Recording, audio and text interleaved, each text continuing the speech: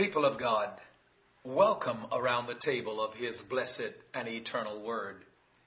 I am led of the Lord Christ to focus upon you as a sojourner, pilgrim of the holy faith. May I ask, have you ever suffered from a troubled heart?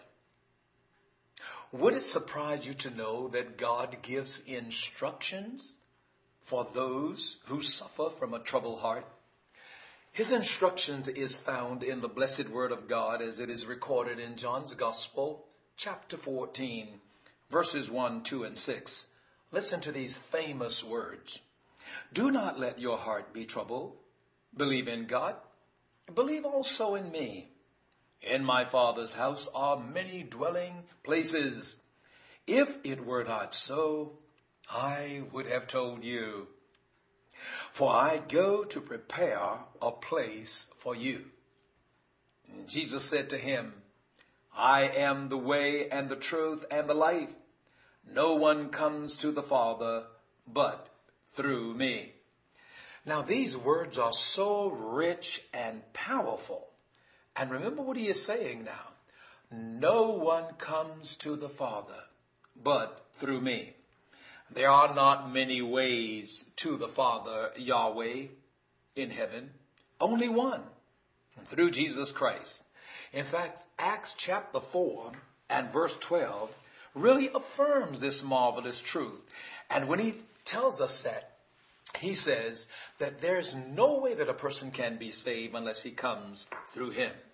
We've all had times when problems in our lives have full impact on our inner hearts when our minds are disturbed, our hearts are troubled, we Christians turn to Christ in prayer for help. And we are directed to His Word. He speaks. Listen to the syntax.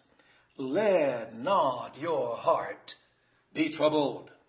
Now the Greek word for trouble means to be tossed to and fro just like the old washing machine, just tossing the clothes one way and the other. So God is saying to you and I as Christian, do not let your heart be tossed to and fro.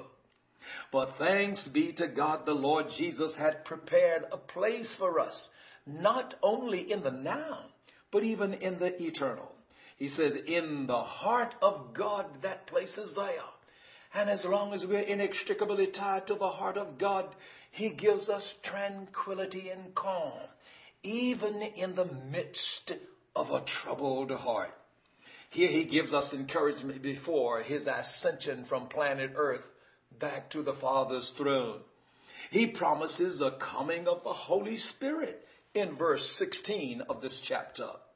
He answered prayer when we call on Him in verse 14. Just think about it. We are children of God and we can call upon Him. And He gives us answered prayer. That's His promise. And then prospect for doing greater works. Can you imagine that? Doing greater works than Jesus did? That's what verse 12 says. Well, the greater works means that we would have a longer time to do it through the power of the Holy Spirit. And then not only that, but the legacy of peace in verse 27. He gives us peace, tranquility. In the midst of turbulence, we can find the serenity in our God through the power of the Holy Spirit. And then finally, he promises to return in verse 3. If I go to prepare a place for you, I will come again and receive you to myself, that where I am, there you may be also. What a great and glowing promise. All of this was accomplished, my friend, on a hill called Calvary. It gives us a thought of prominence. It gives us a thought of a wide space, a mansion in heaven. Not a tent. It is an extent of variety, many mansions of unity in the Father's house. Parenty. He is our Father. And thus when we pray, let us say, Our Father, which art in heaven. I love you and God loves you too. Amen.